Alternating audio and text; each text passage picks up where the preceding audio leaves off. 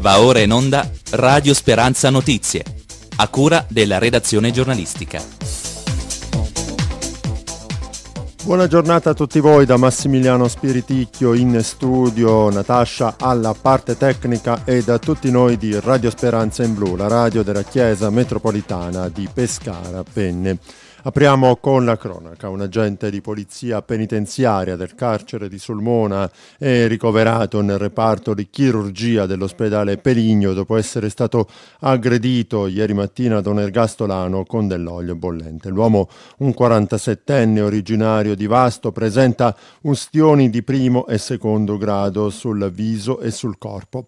Abbiamo superato il limite. Ora l'amministrazione penitenziaria deve intervenire. Ancora prima di essa il ministro Bonafede che ha in mano la responsabilità politica della gestione carceraria. Commenta il sindacalista di categoria Mauro Nardella.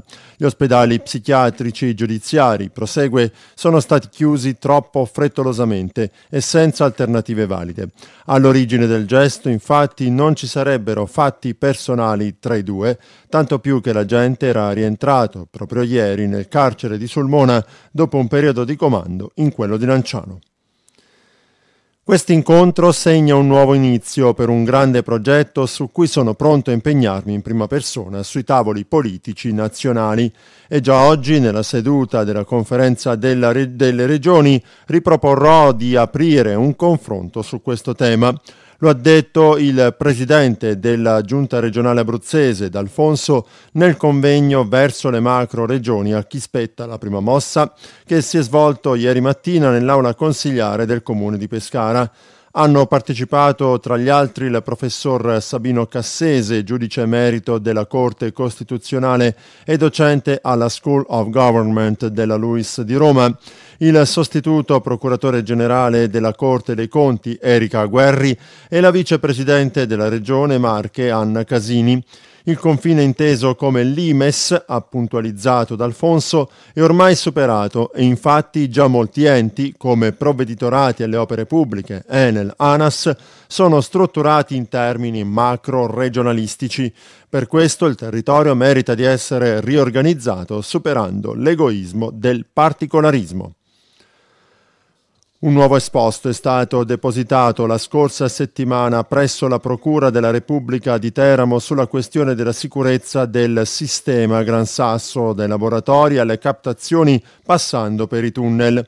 È l'ennesima corposa segnalazione alle autorità inquirenti sulla vicenda, a partire da quella depositata nell'aprile 2017, che ha portato all'apertura di una prima inchiesta da parte della Procura teramana. Questa volta in 15 pagine sono state affrontate numerose tematiche sulla base della grande mole di documentazione, migliaia di pagine, visionata presso una decina di enti in un enorme lavoro di accesso agli atti.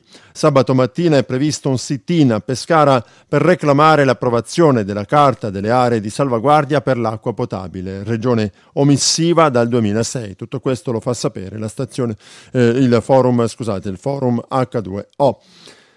E intanto si è appresa dell'iscrizione nel registro degli indagati del sindaco di Pescara Marco Alessandrini eh, che, eh, in relazione alla vicenda eh, dell'inquinamento nella zona di Fosso Vallelunga eh, con i relativi eh, problemi per le acque e per la loro balneabilità che però al momento, lo ricordiamo, in base ai dati ARTA è assicurata nel senso che la balneazione in quella località è permessa.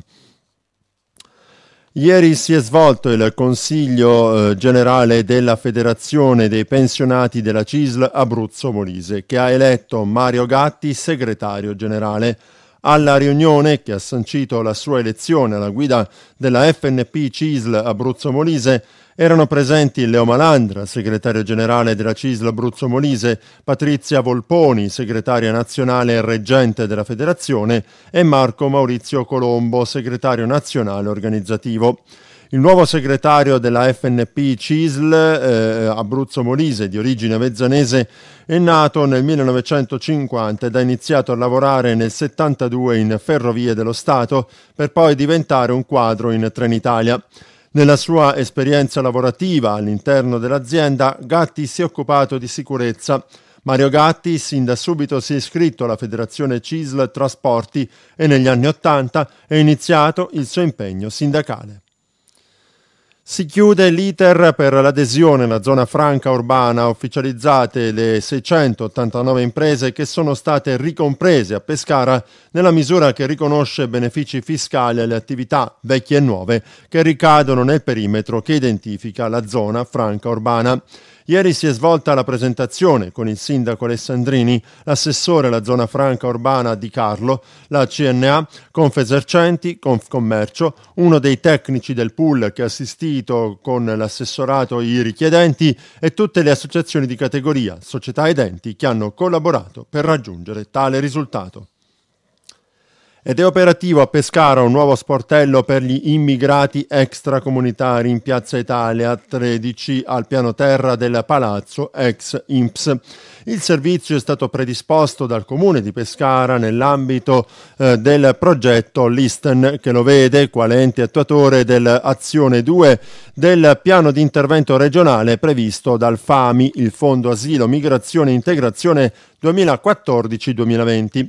Obiettivo dello sportello, aperto dal lunedì al venerdì dalle 9 alle 12, accogliere i migranti, fornire indicazioni sui servizi messi a disposizione dal comune e raccogliere allo stesso tempo informazioni di carattere bio-psicosociale per rilevare bisogni e percorsi di inclusione. A partire da lunedì 25 giugno entreranno in funzione i quattro nuovi fotored installati su due incroci semaforici. Si tratta di via Vestina all'altezza con via Cavallotti e via Chiarini nell'intersezione con via Terno. Lo annuncia il tenente della polizia locale Nicolino Casale.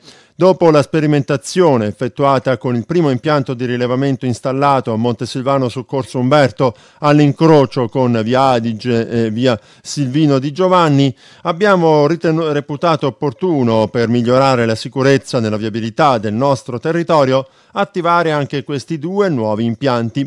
Gli incroci individuati a Montesilvano sono infatti punti particolarmente sensibili nel contesto di mobilità urbana. È molto importante rispettare le norme del codice della strada e tali impianti rappresentano sicuramente un maggiore deterrente nei confronti di questi automobilisti indisciplinati che passano con il rosso mettendo a repentaglio la propria incolumità o quella degli altri. Non a caso, nell'incrocio con Via Adige, le infrazioni rilevate dal sistema si sono ridotte dalle 600 al giorno dei primi tempi alle attuali 20 circa. Il modus operandi del comune di Montesilvano sta facendo proselitismo tra i comuni vicini. Le telecamere installate con le motivazioni legate alla sicurezza de facto sono un formidabile strumento per fare cassa. E allora, dopo quelli killer fra Corso Umberto, via Adige e via eh, di Giovanni, ora quelli su via Chiarini e via Vestina e altri seguiranno. È ora di dire basta, lo afferma Donato Fioriti, presidente dell'Associazione Consumatori Contribuenti Abruzzo, insieme a Mario Di Giacomo, presidente della sezione di Montesilvano. Vogliamo chiarire, spiegano Fioriti e Di Giacomo, che noi siamo dalla parte del comune quando si attiva per la sicurezza de- e-, e dalla parte dei cittadini rispettosi del codice della strada e delle regole. Ma a Montesilvano si agisce in modo monotematico, sostengono eh, Fioriti e eh, Di Giacomo. Ad esempio, eh, dicono perché non viene posta applicazione alla temporizzazione sema- eh, semaforica con il conto alla rovescia dei secondi fino a giungere al rosso, anche da noi proposto e approvato in Consiglio Comunale.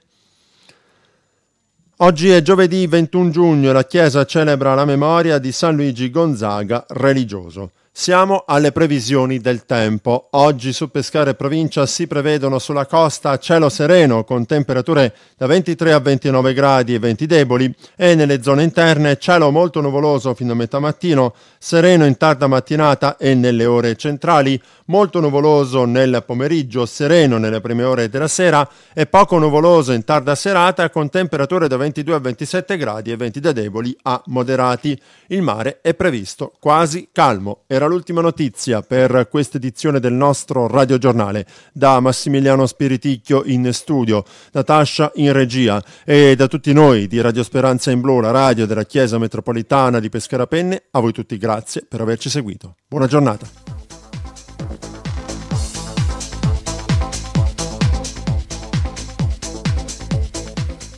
abbiamo trasmesso Radio Speranza Notizie, a cura della redazione giornalistica.